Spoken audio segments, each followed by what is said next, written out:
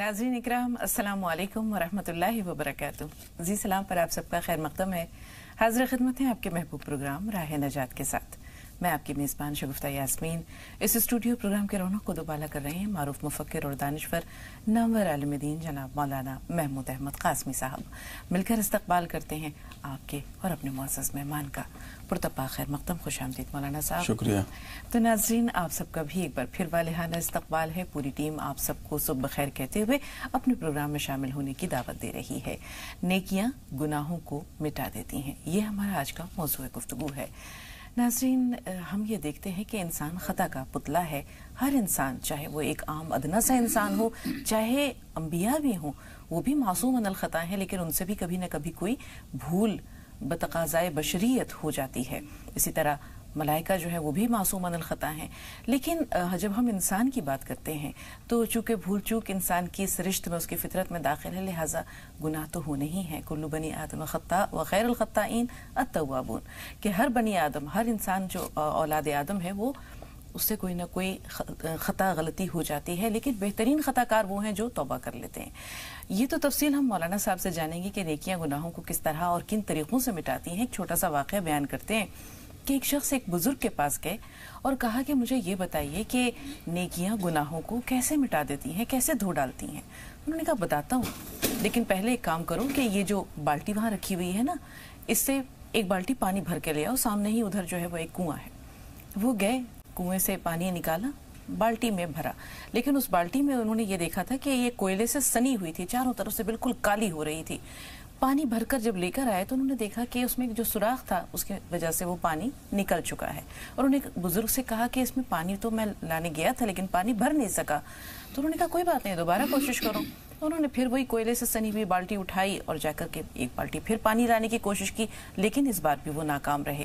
انہوں نے کہا، پھر کوشش کرو۔ لگاتار تین چار بار کوشش کرنے کے بعد جب ان لگاتار ناکام رہے، تو انہوں نے کہا کہ میں تو یہ کام نہیں کر سکا، پانی نہیں لا سکا۔ انہوں نے کہا، بالٹی کو دیکھو تو کچھ تبدیلی نظر آ رہی ہے۔ انہوں نے کہا کہ ہاں یہ جو کوئلے سے سنی ہوئی تھی نا، بالکل کالی ہو رہی تھی، یہ کچھ صاف ہو گئی ہے۔ تو ان بزرگ نے کہا کہ یہی تمہارے سوال کا جواب ہے۔ نیکیاں گناہوں کو اسی طرح دھو ڈالتی ہیں۔ تو آئیے مولانا صاحب سے جانتے ہیں کہ جو نیکیاں ہیں، وہ گناہوں کو کس طرح دھو دیتی ہیں مولانا صاحب؟ السلام علیکم ورحمت اللہ وبرکاتہ۔ الحمد للہ وحدہ والصلاة والسلام علی من لا نبی بعدہ۔ اما بعد، ناظرین کرام آقا نامدار تاجدار پتہ محمد مصطفیٰ صلی اللہ علیہ وسلم کے ایک بہت ہی مشہور صحابی ہیں ابو ذر غفاری رضی اللہ تعالی عنہ۔ جی۔ وہ سوال کرتے ہیں کہ اللہ کے رسول مجھے کوئی وصیت فرما دیجیے تو آپ علیہ السلاۃ السلام نے ارشاد فرمایا کہ ابو ذر میری وصیت تمہیں یہ ہے کہ جب بھی تم سے کوئی گناہ ہو جائے غلطی ہو جائے تو فوراً نیکی کر لیا کرو۔ تو عرض کیا کہ اللہ کے رسول کہ لا الہ الا اللہ کا پڑھنا یہ نیکیوں میں سے ہے، خیر میں سے ہے؟ تو آپ علیہ السلاۃ السلام نے ارشاد فرمایا کہ یہ تو افضل ترین نیکی ہے۔ انسان چونکہ خیر اور شر کا مادہ ہے، نیکیوں کا، بھلائیوں کا وہ مادہ ہے، دونوں چیزیں اس کے اندر جمع ہیں، اکٹھا ہیں۔ اور یہی چیز جب اس کے اندر شر مغلوب ہو جاتا ہے، خیر غالب آ جاتا ہے۔ اچھائیاں غالب آ جاتی ہیں اور برائیاں مغلوب ہو جاتی ہیں، تو ہی انسان ملکوتیت کے درجے تک پہنچ جاتا ہے۔ لیکن اگر شر غالب آ گیا ہے، خیر مغلوب ہو گیا ہے، تو پھر یہی انسان جس کو اشرف المخلوقات بنایا ہے۔ اس کے اندر شیطانوں والی صفت اس کے اندر آ جاتی ہے۔ تو نبی علیہ السلام نے ارشاد فرمایا کہ لا الہ الا اللہ، یہ افضل ذکر ہے، افضل عبادت ہے۔ اس کے پڑھنے سے برائیاں مح ہو جاتی ہیں، مٹ جاتی ہیں۔ اس لیے کثرت سے کلمہ طیبہ، لا الہ الا اللہ محمد الرسول اللہ کو پڑھنا چاہیے۔ برائیوں کی مٹنے کا مطلب کیا ہے؟ برائیاں کس طریقے سے مٹتی ہیں اور ختم ہوتی ہیں؟ اس کے بارے میں ارشاد فرمایا گیا کہ جس طریقے سے کوئی چیز لکھا جاتا ہے اور لکھنے کے بعد میں پھر اس کو ریزر سے مٹا دیا جاتا ہے۔ ایسے ہی نام اعمال سے اس برائی کو مٹا دیا جاتا ہے، ختم کر دیا جاتا ہے۔ یہاں تک کی روایات میں آتا ہے کہ کرامن کاتبین جو ہمارے اعمال کو لکھنے والے ہیں، نوٹ کرنے والے ہیں ان کی ڈائری سے ان کی یادداشت سے اس کو ختم کر دیا جاتا ہے۔ جس سرزمین پر وہ گناہ کیا گیا ہے اس سرزمین سے اس کی یاد سے بھی اس گناہ کو مٹا دیا جاتا ہے۔ اور جس عضو کے ذریعہ وہ گناہ کیا گیا تھا اس عضو کی یادداشت سے بھی اس گناہ کو مٹا دیا جاتا ہے۔ یہاں تک کہ صفحہ ہستی سے اس گناہ کو بالکل نیست نابود کر دیا جاتا ہے اس کا کوئی تذکرہ نہیں ہوتا ہے۔ یہاں ایک سوال ہے مولانا صاحب۔ جی۔ جسے بھی آپ نے حضرت ابو ذر غفاری کا ذکر کیا تو ان سے ہی ایک حدیث ملتی ہے جس میں رسول پاک صلی اللہ علیہ وسلم نے فرمایا کہ جہاں بھی رہو اللہ سے ڈرتے رہو جی۔ اور ہر برائی کے بعد فوراً نیکی کر لو۔ وہ اس برائی کو یا گناہ کو دھو ڈالے گی۔ تو ہم یہ دیکھتے ہیں مولانا صاحب کہ انسان کے اندر اسی طرح قرآن پاک میں بھی یہ ہے نا کہ ان الحسنات یذہبن السیئات وذالک ذکرہ للذاکرین۔ للذاکرین۔ تو یہ جو ذکرہ ہے اللہ کا ذکر یعنی فوری طور پر اللہ کی یاد آ جانا۔ جی۔ یہ جو یاد فوری طور پر آتی ہے یہ انسان کے اندر ندامت پیدا کرتی ہے احساس کو جگاتی ہے۔ شیطان سے بھی گناہ ہوا تھا لیکن جی۔ وہ اکڑ گیا۔ اس میں حضرت آدم میں یہی فرق تھا۔ حضرت آدم کو اپنی غلطی کا احساس ہوا فوری طور پر ندامت اور توبہ انہوں نے کی۔ تو یہ جو احساس جاگتا ہے یا یا یہ جو آیت ہے جس میں ذکرہ للذاکرین کہا جی۔ گیا ہے اس ذکرہ سے کیا مراد ہے؟ دو باتیں ہو سکتی ہیں۔ ایک تو یہ کہ خوف خدا کہ انسان کوئی گناہ کرنے جا رہا ہے، کوئی غلطی کرنے جا رہا ہے، لیکن جیسے ہی اللہ کا خوف اس کے اوپر غالب آیا، اللہ کی خشیت اس پر غالب آئی، فوراً اس کا ہاتھ کپ کپانے لگا، پیر تھر تھرانے لگے اور زبان گنگ ہو گئی اور آنکھیں اس کی بند ہو گئیں۔ یہ کیفیت اس کے اوپر طاری ہو گئی اور وہ گناہ کرنے سے رک گیا۔ اور دوسرا مطلب یہ بھی ہو سکتا ہے کہ واز اور نصیحت تلقین کرنا۔ کہ آپ ایک دوسرے کو گناہوں سے بچنے کی تلقین کریں، نصیحت کریں۔ یہ بھی بہت ہی بڑا خیر ہے اور کار خیر میں داخل ہے۔ امر بالمعروف اور نہیں المنکر، لوگوں کو بھلائی کا حکم دینا اور برائیوں سے روکنا، یہ ایک اہم ترین ذکر کار خیر ہے اور اہم ترین عبادت ہے۔ اور نبی علیہ الصلاۃ والسلام نے خود اور اللہ رب العزت نے قرآن کریم کے اندر جگہ بجگہ اس امر کی تلقین فرمائی ہے، اس کام کے کرنے کے لیے کہا ہے۔ اور جہاں تک رہی بات، کبیرہ گناہ کی یا صغیرہ گناہ کی؟ تو اللہ رب العزت نے جو ضابطہ بیان کیا ہے، گناہوں کے معافی کا، اس کے مٹنے کا، اس کے دھلنے کا، تو صغیرہ گناہ کے تعلق سے تو وضاحت یہ ہے کہ جو بھی ہم اعمال کرتے ہیں، کار خیر مخلوق خدا کے خیر خواہی ہے، امر بالمعروف ہے نہیں المنکر ہے، خدمت خلق ہے، نماز ہے، روزہ ہے، حج ہے، زکوٰۃ ہے، بھوکوں کو کھانا کھلانا، مسکینوں کو کھانا کھلانا، راستے سے تکلیف دہ چیز کو ہٹا دینا، یہ تمام جو امور خیر ہیں، ان تمام امور خیر سے ہماری نیکیوں میں اضافہ بھی ہوتا ہے اور جو سیاحت ہیں، اللہ رب العزت اس کو حسنات سے مبدل بھی کرتا ہے۔ لیکن جو کبیرہ گناہ ہیں، بڑے گناہ ہیں، ان بڑے گناہوں کے تعلق سے وضاحت یہ ہے کہ وہ بغیر اللہ کے سامنے ندامت اور پشیمانی کے اور توبہ کے معاف نہیں ہوتے۔ رہی بات، اللہ رب العزت کی مرضی کی تو اپنے مرضی میں وہ خود مختار ہے۔ اس پر کسی کا، کسی کی دار و گیر نہیں ہے۔ وہ معاف کرنا چاہے تو معاف کر سکتا ہے، لیکن اس بڑے گناہ کے لیے جو شرط ہے کہ توبہ ہے اور توبہ جب کیا جاتا ہے تو پھر گناہ وہ معاف ہو جاتا ہے۔ بالکل مولانا صاحب۔ تو بنیادی چیز یہی ہے کہ انسان کے دل کے اندر یہ احساس پیدا ہو جائے کہ ہاں مجھ سے غلطی ہوئی ہے۔ ہم یہ دیکھتے ہیں بہت سے لوگ ایسے ہیں جو اپنی غلطی کو غلطی ماننے پر تیار نہیں ہوتے یا وہ یہ تسلیم نہیں کرتے کہ ہاں مجھ سے خطا سرزد ہوئی ہے۔ ہم یہ دیکھتے ہیں ہم تو بہت ادنا انسان ہیں۔ رسول پاک صلی اللہ علیہ وسلم کے وہ صحابہ جو آپ کے زیر تربیت آپ کے پروردہ تھے ان سے بھی کچھ نہ کچھ بھول چوک کبھی شراب پی لی تو حد جاری ہو گئی۔ حضرت عمر فاروق کے صاحبزادے خدا ان سے زنا سرزد ہو گیا، حد جاری ہو گئی۔ ایک صحابی آتے ہیں، رسول پاک صلی اللہ علیہ وسلم کے ایک صحابی ہیں۔ ان ان سے بہت بڑا گناہ تو نہیں ہوا، لیکن اتنا گناہ ضرور ہوا کہ شاید کسی تنہائی میں، کسی باغ میں، کسی خاتون سے بوسو کنار کر لیا۔ اب حضرت ابو بکر صدیق کے پاس جاتے ہیں کہ مجھ سے خطا ہو گئی، مجھ سے غلطی ہو گئی، بتائیے میں کیا کروں؟ حضرت ابو بکر صدیق جو ہے، وہ کچھ جواب نہیں دے پاتے کیونکہ اس وقت تک ایسی کوئی آیت تھی نہیں۔ حضرت عمر فاروق کے پاس جاتے ہیں۔ وہ کہتے ہیں، میں کیا کہہ سکتا ہوں؟ رسول اللہ کے پاس جائیے۔ رسول اللہ کے پاس جاتے ہیں۔ اور جا کر کہتے ہیں کہ مجھ سے بڑا گناہ تو نہیں ہوا، چھوٹا یہ گناہ تو ہو گیا ہے۔ تو رسول اللہ اپنا چہرہ پھیر لیتے ہیں ان کی طرف سے غصے کی وجہ سے۔ وہ دوسری طرف جا کے بیٹھ جاتے ہیں۔ رسول اللہ اپنا چہرہ دوسری طرف کر دیتے ہیں۔ وہ وہاں سے اٹھ کر چلے جاتے ہیں۔ رسول پاک کچھ نہیں فرماتے۔ تھوڑی دور آگے گئے تھے کہ جبریل امین یہ آیات، ان الحسنات یوزبن سیئات وزالی کا ذکر للذاکرین تو اس سے پہلے عقیم الصلاط کا اس طرح کچھ آیتیں بھی ملتی ہیں۔ تو جب یہ آیت لے کر نازل ہوئے رسول پاک نے فوری طور پر ایک صحابی کو بھیجا اور کہا کہ بلا کر لاؤ اور کہا کہ دیکھو، توبہ کرو۔ توبہ یا اپنی نیکیاں، یہ تمہارے گناہوں کو دھو ڈالیں گی۔ تو ہم یہ دیکھتے ہیں کہ بہت ساری ایسی چیزیں ہیں جن جن کے لیے اللہ تعالیٰ نے اسی موقع پر چاہے وہ زہار کا مسئلہ ہو، چاہے اس طرح کا ہو، اللہ تعالیٰ نے فوری طور پر آیات اتار دی ہیں۔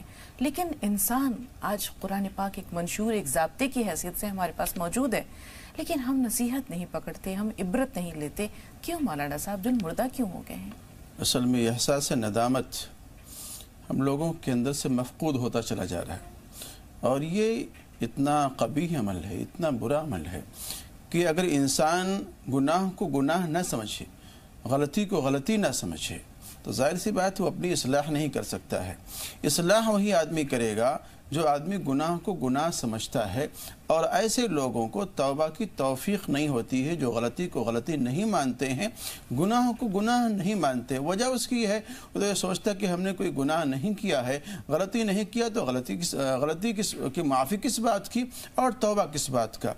گناہ کے مٹنے اور دھلنے کے تعلق سے ایک واقعہ یاد آ رہا ہے، علامہ قرطبی رحمۃ اللہ علیہ کا۔ علامہ قرطبی رحمۃ اللہ علیہ خود فرماتے کہ ان کے معمولات میں سے تھا کہ کلمہ طیبہ لا الہ الا اللہ کی وہ کثرت سے ذکر کیا کرتے تھے۔ اور حدیث پاک کا مفہوم ہے کہ اگر کسی شخص نے اپنے لیے ستر ہزار مرتبہ کلمہ طیبہ کا ورد کر لیا یا کسی کے لیے کر دیا، اس کو اسال ثواب اس کے پہنچا دیا، تو اللہ تعالیٰ اس کی ضرور مغفرت فرمائیں گے۔ تو علامہ قرطبی اس حدیث پاک کے اثر کو بھی دیکھنا چاہتے تھے اور ایک واقعہ اور ہے، ایک بات اور ہے، اس کا بھی اثر دیکھنا چاہتے تھے۔ ایک لڑکا تھا، مجذوب قسم کا آدمی تھا، لیکن اس کے تعلق سے یہ بات ہوتی تھی کہ وہ صاحب کشف و کرامت ہے۔ اللہ رب العزت اس کے سامنے بہت سارے جو پردے ہیں اس کو ہٹا دیتے ہیں اور یہ حدیث پاک کا مفہوم ہے کہ کہ جو اللہ کا ہو جاتا ہے، اللہ اس کے ہو جاتے ہیں۔ بہت سارے حوائل اور جو درو دیواریں ہوتے ہیں، اللہ اس کو دور کر دیتا ہے، ختم کر دیتا ہے۔ اس کے سامنے بہت ساری چیزیں جو مغیبات میں سے ہیں، مشاہدے کے درجے میں آ جاتی ہیں۔ تو کہا جاتا تھا اس کے بارے میں کہ جنت اور جہنم کا یہ مشاہدہ کر لیتا ہے بچہ۔ اس کے کسی عزیز ترین رشتہ دار کا، اور غالباً اس کی والدہ کا انتقال ہو چکا تھا، اور اس کو خواب میں یہ نظر آئی بات یہ آئی تھی کہ اس کی والدہ کچھ تکلیف میں۔ تو اس انہوں، اس نے علامہ قرطبی رحمۃ اللہ علیہ سے اس بات کا تذکرہ کیا تھا۔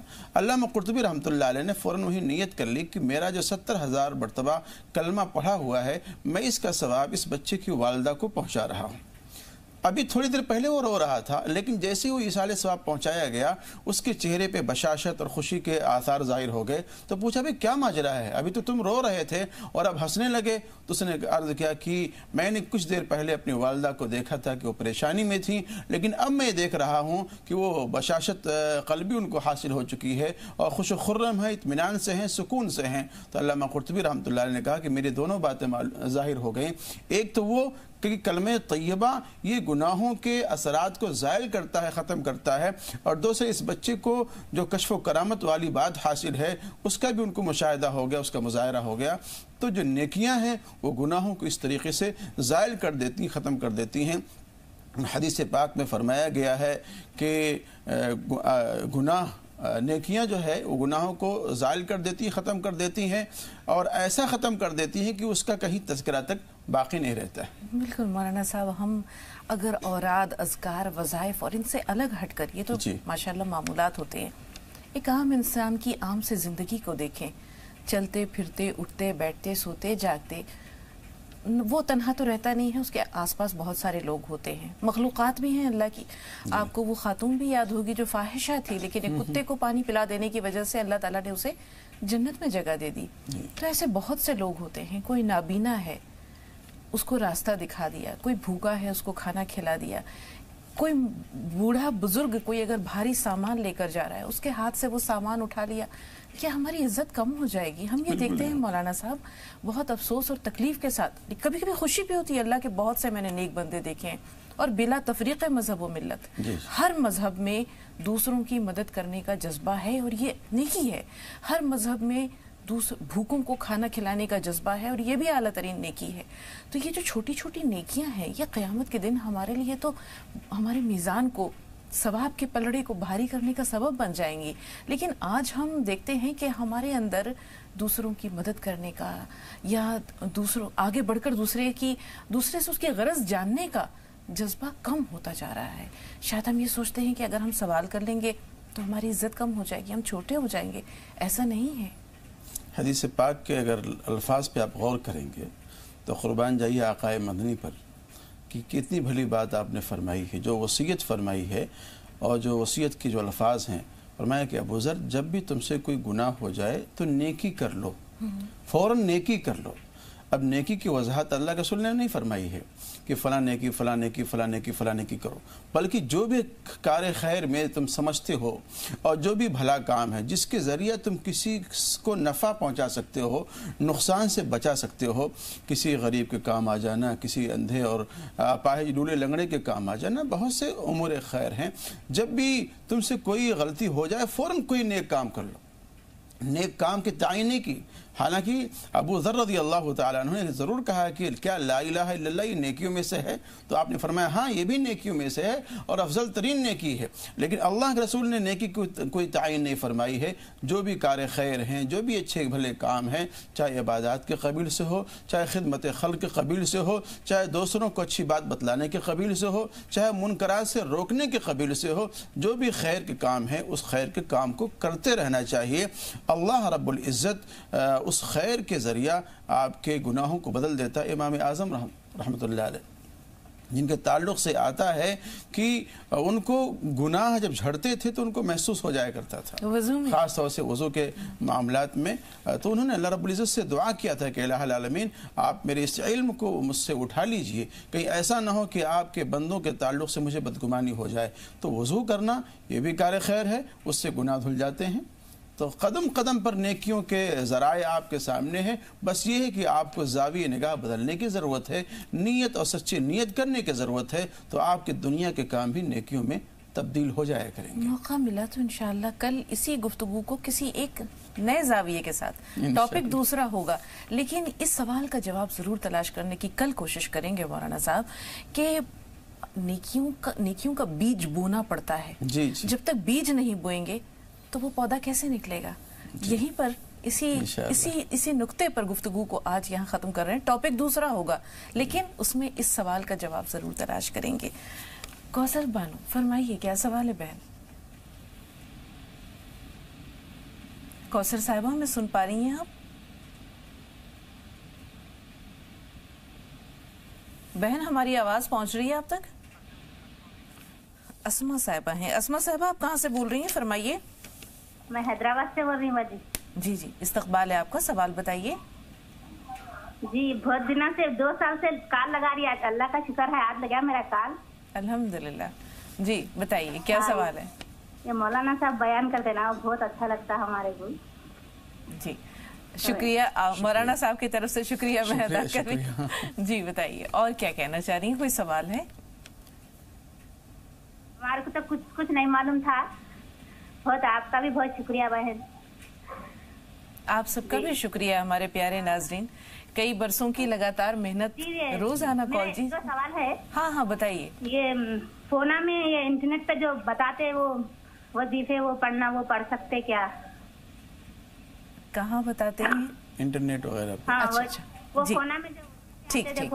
جی جی مولانا صاحب کیا ہاں بالکل بالکل آپ کا سوال پہنچ گیا۔ دیکھیں ٹھیک ہے وہ جو بھی علماء بتلاتے ہیں یوٹیوب وغیرہ پہ، جو ڈاؤن لوڈ وغیرہ کرتے ہیں پروگرام کو، وہ معتبر علماء ہیں، بڑے علماء ہیں، ماشاءاللہ، ان کو سننا بھی چاہیے، قدر کی نگاہ سے دیکھنا بھی چاہیے۔ لیکن مناسب یہ ہے کہ کسی ایک اچھے عالم دین سے، کسی اچھے عالم دین سے آپ کا ربط و ضبط ہونا چاہیے۔ تسبیحات کے تعلق سے مسائل کے تعلق سے آپ کے محلے کے جو مسجد کے امام ہیں یا آپ کے محلے میں کوئی عالم دین رہتے ہیں تاکہ آپ جو ان سے اصلاح تعلق بھی باقی رہے اور مسئلے مسائل ان سے رابطہ ضابطہ کر کے ان سے معلوم کرتے رہا کریں پوچھتے رہا کریں۔ یہاں ایک نقطہ اور ہے جی۔ جواب کر لیں گے انشاءاللہ۔ انشاءاللہ۔ مرد حضرات اس سلسلے میں ماشاءاللہ بہت خوش قسمت ہے کہ پانچ وقت وہ مساجد میں جاتے ہیں علماء سے بھی ان کے رابطے رہتے ہیں۔ خواتین کیا کریں مولانا صاحب؟ ایک خواتین کی جو تربیت ہے یہ بہت بڑی ذمہ داری ہے۔ بہت بڑی ذمہ داری ہے۔ اس پہ آج اور ہم انہی سے وہیں جی، سے گھر کے اصلاح کی اور اس کے جی۔ اچھائی کی بھی بنیاد پڑتی ہے۔ بالکل۔ ایک خاتون ایک نسل کو پروان چڑھاتی ہے۔ شاہین پیلی بھیت سے۔ جی بتائیے بہن سوال جی۔ وعلیکم السلام۔ السلام۔ اور سب لوگ خیریت سے؟ الحمدللہ۔ مولانا صاحب سے ہمارا سلام بول دیجیے گا۔ جی اور سروستہ باجی میری میں یہ کہہ رہی ہوں میں نے ابھی محرم کے دس روزے ماشاء سے ہر سال رکھتی ہوں زیادہ تر۔ اس بار میرے ساتھ ایسا ہو گیا سات میں روزے کو میرا پیریڈ شروع ہو گیا اور گیارہویں روزے کو میں نہا لی۔ اس کے بعد سے نماز تو شروع ہو گئی روزے میرے چھوٹ گئے۔ اب مجھے اس بات کا یہ افسوس ہے میں بہت دن سے اس معاملے میں پریشان ہوں یہ نہیں سمجھ مار رہا کہ مجھ سے کوئی گناہ ایسا ہوا جس کی وجہ سے مجھے اللہ تعالیٰ نے اس سے محروم کر دیا۔ یہ خدا جانتا کیا ہوا مگر بہت دن سے کال لگا رہی ہیں میرے اس کا فون نہیں لگ پا رہا تھا ٹھیک ہے۔ مولانا صاحب کے پاس چلتے ہیں۔ جی مولانا صاحب۔ نہیں اس کو محرومی نہیں سمجھنا چاہیے اور نہ اس کو بدقسمتی سمجھنا چاہیے۔ یہ تو ایک امر الہی ہے اور ایک تکوینی اور تقدیری نظام ہے۔ اس کو اپنے لیے آپ محرومی نہ سمجھیں۔ اللہ نے آپ کے لیے مقدر کر رکھا تھا۔ اور ظاہر سی بات اس کا بدل بھی نہیں ہو سکتا ہے، لیکن اگر آپ چاہتے ہیں اس کے مک- مکافات کے لیے، تو اس نیت سے نہیں، لیکن نفلی نفلی نیت کے کر کے جو بھی آپ کے روزے چھوٹے ہوئے ہیں، اس کو آپ رکھ لیں تو اللہ تعالیٰ آپ کو اس کا حساب و کتاب دے گا۔ لیکن آپ اس نیت سے نہ رکھیں کہ وہ میں یہ محرم کے روزے رکھ رہی ہوں، بلکہ ایک نفلی نیت کر لے تو ہو سکتا ہے کہ اللہ تعالیٰ اس کے مکافات میں، اس کے بدل میں، اس کو، اس کی جگہ میں تبدیل کر دے۔ جی۔ اس دوران کے کچھ اور سوالات آئے، مولانا صاحب، یہ احساس ہونا گرچہ کہ یہ خالق قدرت کی طرف سے ہے اور یہ جسمانی ایک نظام ہے جی، جی۔ جو کسی چیز کا پابند نہیں ہے اللہ کے حکم کا پابند ہے۔ لیکن یہ احساس ہو جانا کہ شاید اس بار محرومی جو میرے حصے میں آئی ہے یہ میری کسی خطا یا گناہ آ، کی وجہ سے ہے۔ تو کیا یہ جو احساس ہے یہ بھی نیکی میں شمار ہوگا؟ یہ بہت بڑی نیکی ہے۔ میں نے بھی عرض کیا تھا کہ یہ احساس کا پیدا ہونا یہ بہت بڑا کار خیر ہے، بہت بڑا عمل ہے اور اسی کو توبہ کہا جاتا ہے، اسی کو استغفار کہا جاتا ہے۔ اور جس شخص کے اندر یہ خاصیت ہوتی ہے اور جس کی فطرت ہوتی ہے کہ اپنے ذرا ذرا سی بات پر اس کو احساس ندامت ہو جائے اور اپنے عمل کو اللہ کی مرضیات پہ، اللہ کی تقدیر پہ جوڑ کے جوڑنے کی کوشش کرے وہ دنیا میں کبھی خائب و خاصر نہیں ہوتا ہے۔ اور میں یہ کہتا ہوں کہ ایسے لوگوں کے ایمان اور یقین اللہ تعالیٰ کی ذات پہ صفات پہ بڑے مضبوط اور بڑے عالی ہوا کرتے۔ ہیں جی دو کالرز اور ہیں محمود انصاری صاحب۔ ناسک سے بتائیے محمود بھائی سوال کیا ہے؟ السلام علیکم۔ وعلیکم السلام۔ میرا سوال یہ ہے کہ میری کلیم پالیسی لینا اسلام کے حساب سے کیسا ہے؟ اور یہ کون سی پالیسی؟ بھائی اپنی پالیسی کا نام بتائیے۔ آپ نے کون سی پالیسی کا ذکر کیا ہے؟ ہلو۔ جی جی ذرا سوال دہرائیے گا محمود بھائی۔ میری کلیم پالیسی اچھا اچھا اچھا۔ ٹھیک ہے۔ یاسمین صاحبہ میرٹھ سے۔ جی بتائیے بہن آپ کا سوال کیا ہے؟ یاسمین صاحبہ سن پا رہی ہیں ہمیں۔ ایسا لگتا ہے رابطہ نہیں رہا۔ دو کالرز اور ہیں سمیہ اور عائشہ پروین۔ عائشہ صاحبہ فون لائن پہ ضرور رہیے گا۔ پہلے سمیہ کا سوال لے لیں۔ جی بتائیے سمیہ سوال کیا ہے؟ السلام علیکم۔ وعلیکم السلام ورحمۃ اللہ وبرکاتہ۔ آپ کو اور مولانا صاحب کو السلام علیکم۔ وعلیکم السلام۔ ورحمۃ اللہ جی وبرکاتہ۔ میرا ایک مسئلہ ہے۔ میرا بھائی جو جس کی عمر اب آ، تیس کے اوپر ہے۔ ہم لوگ اس کی شادی کے لیے بہت کوشش کر رہے ہیں لیکن وہ کسی لڑکی کے چکر میں گرفتار لڑکی کے چکر میں ہے۔ اور وہ ہمیں کچھ نہیں بتاتا۔ وہ وہ لڑکی جو دوسرے مذہب کی ہے ہم نے اس کو کہہ دیا کہ وہ یہ ہے دوسرے مذہب سے تعلق رکھتی ہے کرسچن ہے۔ ہم نے اس کو کہہ دیا کہ اچھا چھوڑو وہ مذہب بدلنا چاہتی ہے۔ تو اچھا آپ اس سے شادی کر لیجیے ایسے بھی کہہ دیا لیکن اس کو وہ کیا کرتے ہیں کچھ بتاتا نہیں ہے نہ شادی کے لیے ہاں کر رہا ہے نہ نہ کر رہا ہے اس کے ساتھ میں تال میں رکھ لے کے کیا کریں ایسا کچھ عمل کر سکتے ہیں اس کے لیے آپ کا جو مسئلہ ہے انشاءاللہ مولانا صاحب ضرور بتائیں گے اس پر تھوڑا سا انتظار عائشہ کا سوال لے لیں جی عائشہ صاحبہ سوال بتائیے۔ السلام علیکم۔ وعلیکم السلام مولانا صاحب مولانا صاحب کو اسلام۔ جی وعلیکم السلام۔ میرا یہ سوال ہے کہ میری لڑکی کے گھر کے دروازے پہ دو دفعہ سے انڈا مطلب پھوٹا ہوا پڑا ہوا ملا۔ ہاں۔ اور پتا نہیں کیا ہر وقت طبیعت خراب رہتی دونوں میاں میں تھوڑا بہت انبن بھی رہتی ہے۔ ٹھیک ہے۔ اور دوسرا سوال یہ ہے میرا کہ بھی میرے؟ شوہر کی ہر وقت سر میں درد رہتا ہے اور کان کے پیچھے ایک سے گدود کے جیسا ہے مطلب وہ درد ورد نہیں ہوتا۔ گلینڈ کیا جی۔ گدود بولتے ہیں اس کو شاید؟ ہاں گلینڈ ہوتا ہے جس ہاں۔ کو غدود کہتے ہاں، ہیں جی جی۔ تو مطلب اس کے لیے کوئی دعا یا کچھ۔ اور۔ میری لڑکی کا بہت بڑا مسئلہ ہے۔ مولانا۔ صاحب یہ جاننا چاہ رہے ہیں کہ انڈے کے چھلکے پر کچھ لکھا ہوا تھا؟ دیکھیے چھلکے پہ کچھ نہیں پہلی دفعہ جو تھا تو اس پہ کچھ تھا ذرا مطلب ہلدی کے رنگ کا کچھ تھا۔ دوسری دفعہ جب انڈا پھوٹا ہوا بلایا تو مجھے انہوں نے بلا کے میری لڑکی نے بلا کے دکھایا کہ ایسے ایسے کیا کروں میں۔ اور وہ اتوار کی رات ہی کو ایسا ہوتا ہے۔ صبح سمار پیر کے دن صبح صبح اس نے بلا کے دکھایا۔ اچھا۔ میں نے صاف کیا میں نے کہا کہ ہٹو تم میں صاف کر لوں اس کے بعد میں نے سورہ بکرا وغیرہ جو دعا جو قرآن شریف کی آیت تھی گھر میں پڑھی میں نے اس کے گھر جا کے ایت الکرسی وغیرہ پڑھی۔ یہ دوسری دفعہ ایسا ہوا پہلی دفعہ تو سوچا کہ ہو سکتا ہے کہیں جاتے سمے کہیں گر گیا ہوگا کوئی کچرا جی۔ کچرا کوڑا کو لے کے۔ جاتے سمے۔ بہن غور سے سنیے اپنے دونوں سوالوں کے بارے میں۔ جی مولانا صاحب۔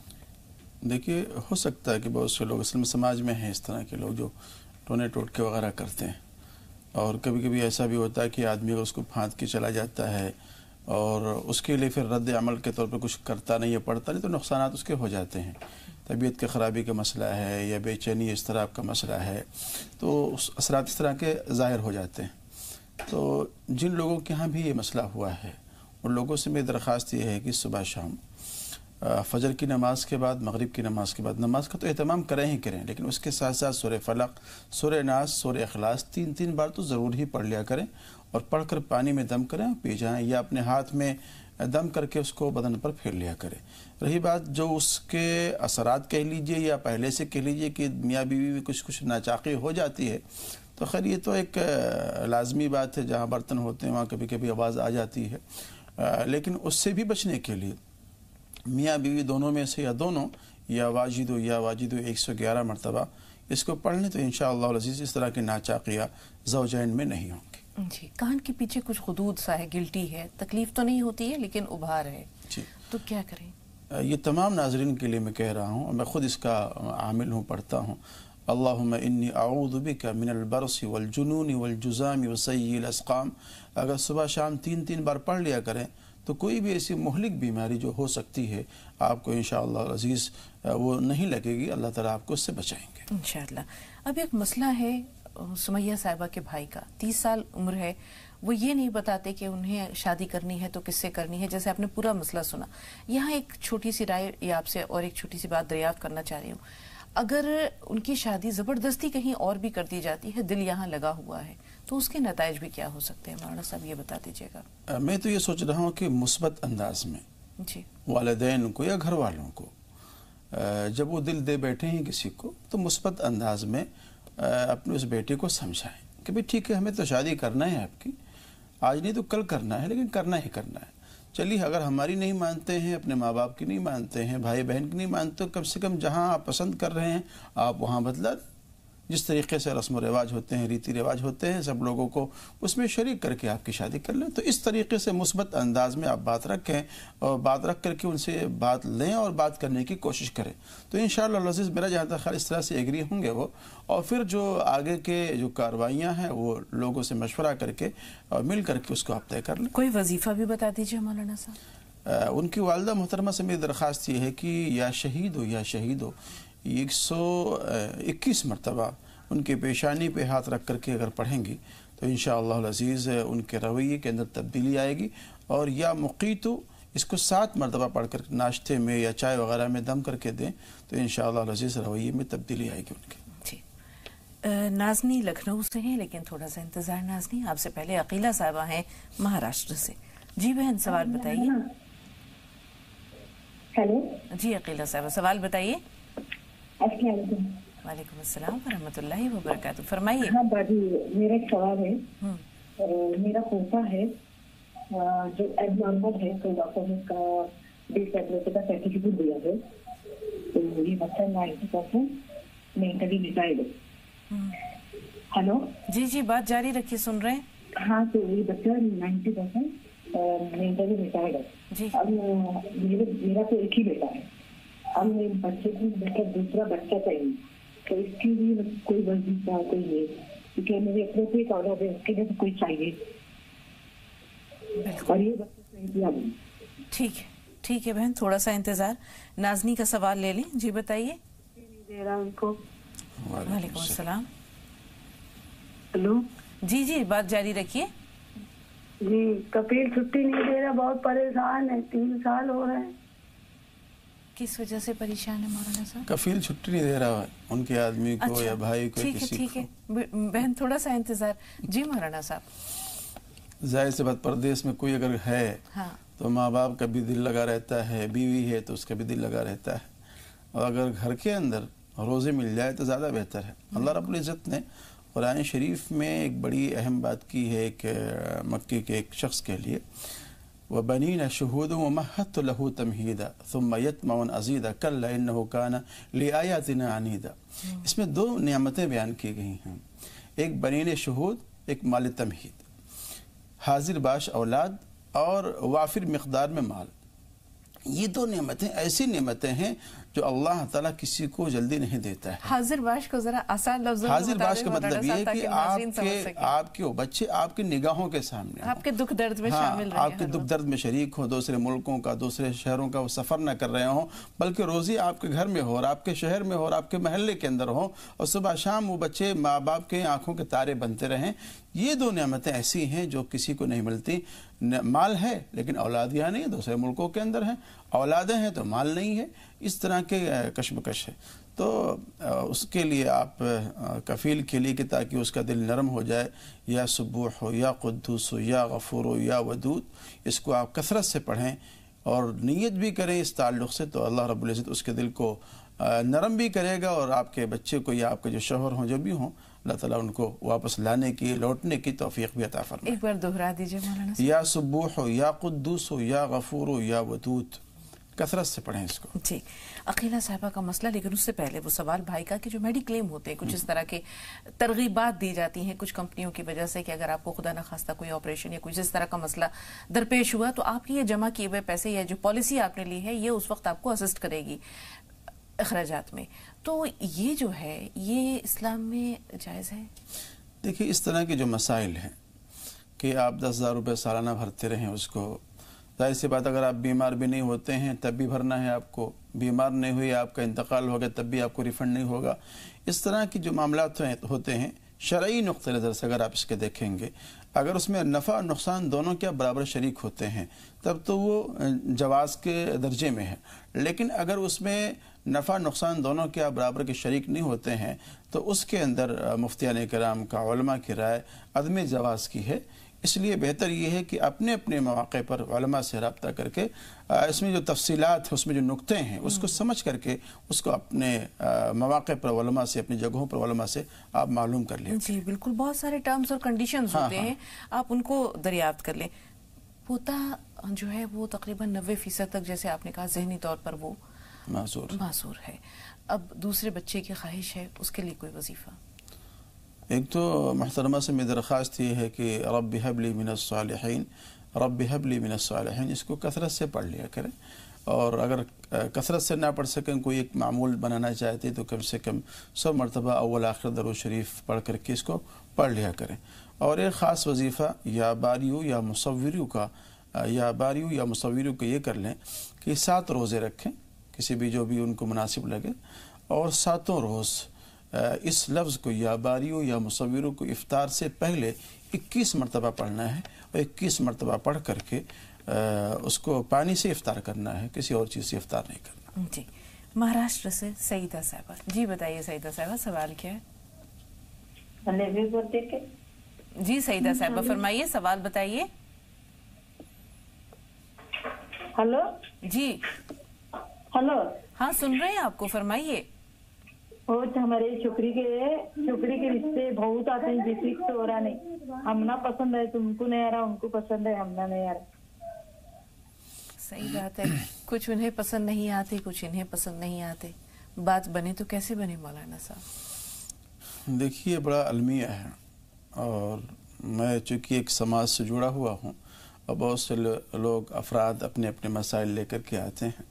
میں بار بار کہتا ہوں اس بات کو۔ اور اس سے چاہت میں اس توقع کے اندر بچوں کی اور بچوں کی کافی لمبی عمریں ہو جا رہی ہیں اور پھر وہ لمبی عمر کا ہونا بذات خود ایک ایک عائب کے درجے میں ہو جاتا ہے۔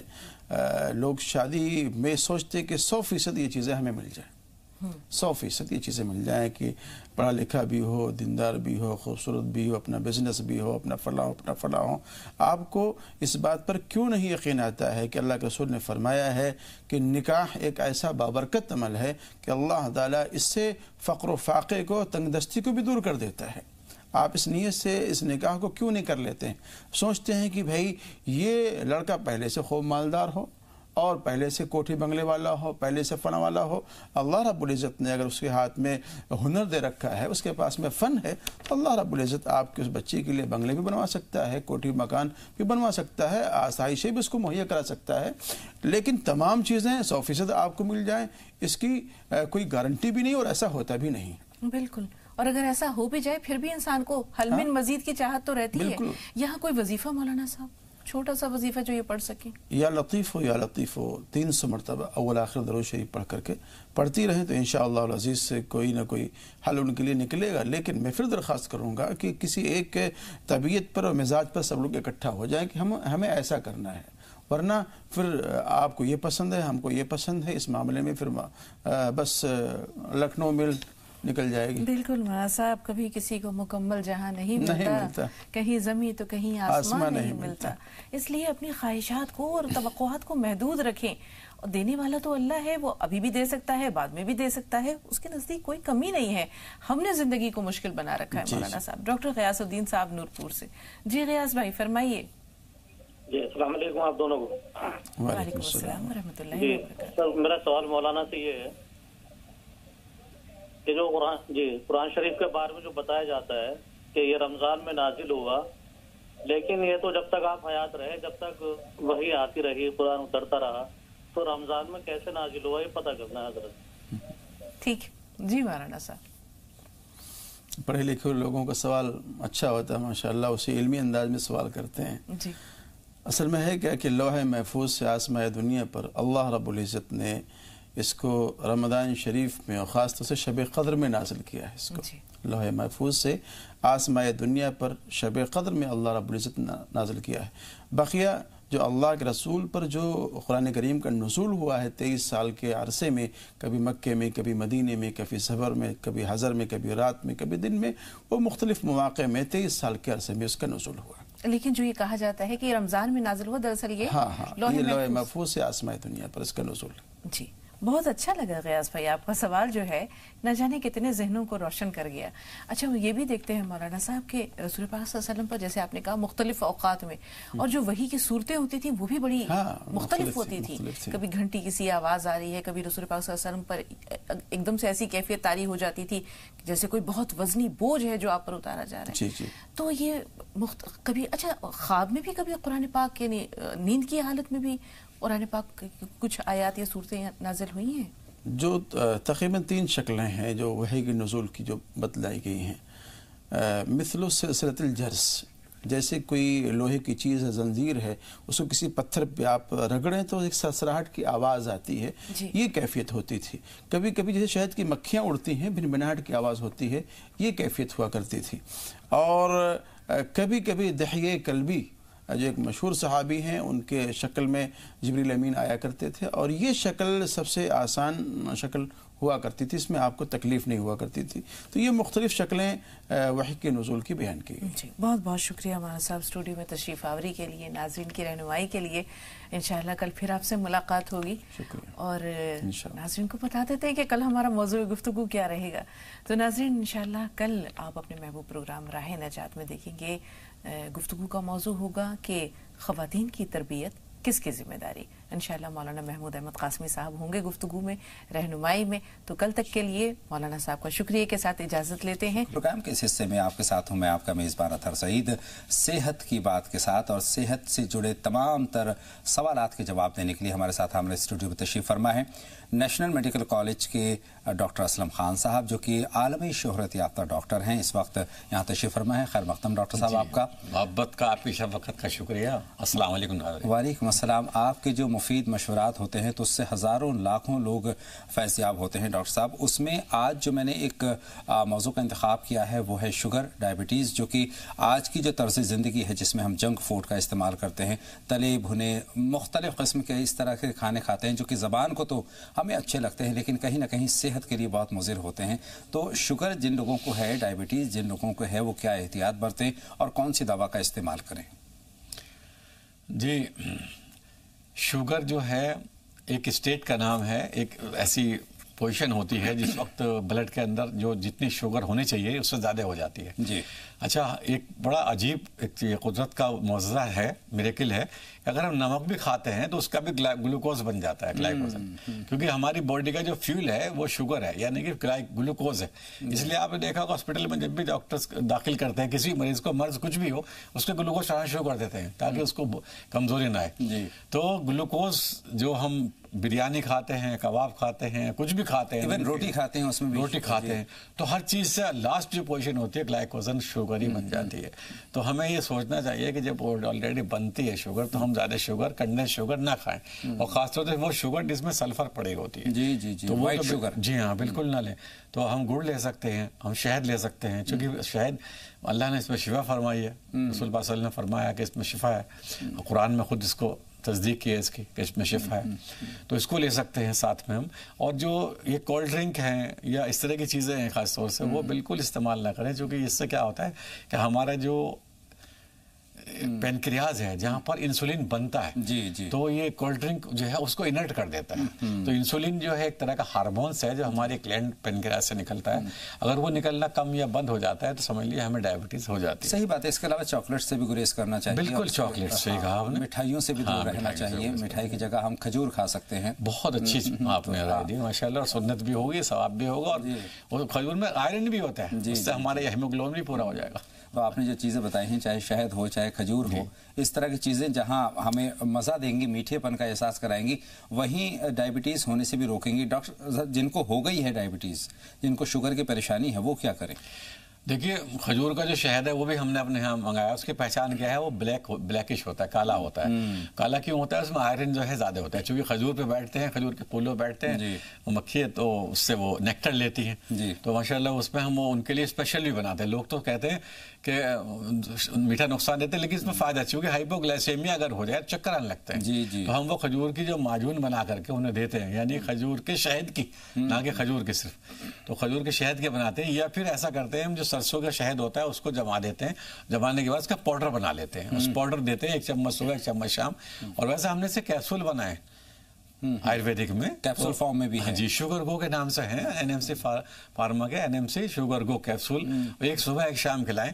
اور اگر شوگر چار سو سے زیادہ ہے تو جو ایلوپیتھک دوائی چل رہی ہے اسے بند نہ کریں۔ اچھا نام ایک مرتبہ پھر بتا دیں جی شوگر گو کیپسول ہے۔ S U G A R sugar G O go. یعنی کہ شوگر کی بیماری ہو جائے۔ دفع ہو جائے۔ بالکل۔ ایک سوال اور اس تعلق سے ہے ڈاکٹر صاحب جو کہ میرے ساتھ ساتھ تمام ناظرین کے ذہن میں بھی ہے کہ ان دواؤں کو منگانے کا طریقہ کیا ہے۔ ان کا طریقہ بڑا آسان ہے جو کہ دیکھیے اگر آپ بازار سے بھی اپنے ہاں ہم ہر شہر میں آؤٹ لیٹ بنائیں اور دلی میں بنائیں جہاں ہم بیٹھے ہیں آس پاس تو بنانے کے لیے آپ کو گھر سے جانے کے لیے جانا پڑے گا۔ اسکوٹر سے بھیڑ ہوگی کار سے جائیں گے گھنٹوں لگ جائیں گے۔ اب آپ ایک فون کریں صرف کال نو پہ جو ہمارے نمبر ڈسپلے ہو رہے ہیں یا این این سی فارما کھول لیں وہاں پر ای میل کر دیں یا انہیں فون کر دیں۔ یا وہاں آرڈر کر دیں، کلک کر دیں، یا اس کا ہمیں اتنی بوٹل بھیج دی جائے۔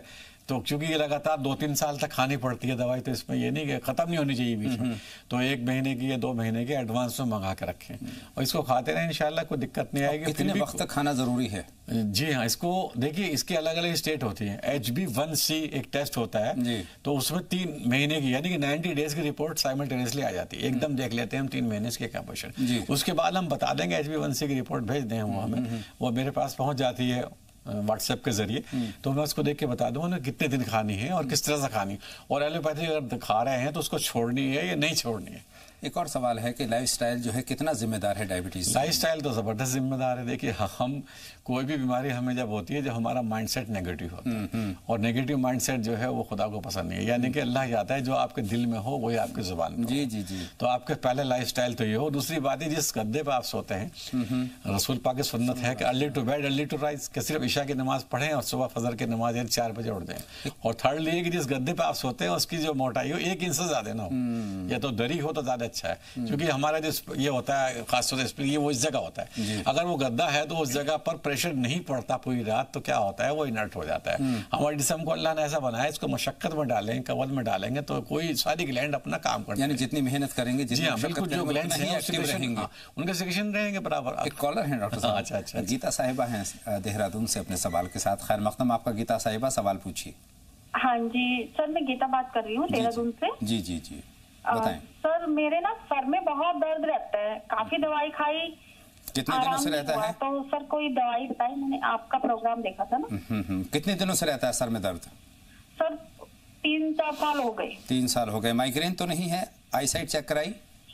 سر آئی سائٹ بھی کمزور ہے بہت شکریہ کال کرنے کے لیے۔ جی ڈاکٹر صاحب۔ بہت اچھا آپ نے تو طبیب کی طرح سوال کر لیا کہ آئی سائٹ چیک کرائی چونکہ بہت سے لوگ ہمارے پاس آتے ہیں تو ان کو آئی سائٹ ویک ہونے کی وجہ سر میں درد آتا ہے۔ جی، جی۔ تو اس کا تو علاج ہی کچھ نہیں سوائے چشمے کا اچھا ڈاکٹر صاحب سر میں درد کی وجوہات بہت ساری ہو سکتی ہیں ہم ان تک نہیں پہنچتے۔ جی ہاں ان تک نہیں پہنچتے۔ جی، تو اس میں ایسا ہوتا ہے کہ جو ہمیں سر میں درد ہے تو اس کو غور کریں کس وجہ اگر الٹی آنے کو ہوتی ہے سر میں درد کا ٹائم تو سمجھ لیجیے ہمیں مائگرین ہے۔ تو ہم مائگرین کی دوا ہمارے یہاں مائگرین کی ماجون بھی ہے اور مائگرین کیپسول بھی ہے۔ کس نام سے ہیں ڈاکٹر صاحب؟ تو وہ جو ہمارے یہاں کیپسول ہم نے اسے بنائے ہیں ایکچولی وہ ہم ہوتے اس کا کنٹینٹ بتا دوں آپ گھر پہ بھی کھا سکتے ہیں۔ آپ وائٹ موچلی ہے اور گودرتنی بھسم ہے۔ یہ دونوں چیزیں ملا لیں۔ اور ساتھ ساتھ اس میں تھوڑے سے سلور کا یعنی کہ چاندی کا کشتہ ڈال لیں۔ بس وہ آپ صبح شام کیپسول کی شکل میں لے لیں یا پورجا کی شکل میں لے لیں کھا سکتے ہیں۔ نہیں آپ کو ایسا بنا سکتے ہیں۔ تو آپ ہمارے یہاں سے منگا سکتے ہیں کوئی سی بات نہیں۔ کس نام سے ہے ڈاکٹر صاحب؟ یہ کیپسول مائگرین کے نام سے کیپسول مائگرین ہاں، اور کس طریقے سے منگائیں؟ بس ایم سی فارما پہ جائیں این ایم سی فارما کھولیں گے آپ جیسے ویب سائٹ ایک دم فوراً وہاں پہ آئے گا وہاں کلک کر دیجیے یا فون نمبر آئے گا۔ نہ فون کر دیجیے میڈم کو کہ بھئی آپ ہمیں یہ منگا دیجیے۔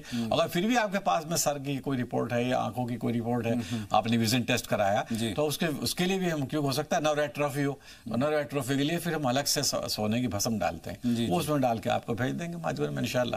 اچھا مثال کے طور پر اگر مائگرین ہے تو کتنے وقت تک استعمال کرنا مائگرین میں آپ کو تین مہینے لگاتار دوا کھا لگاتار اور احتیاط کیا برتنی چاہیے؟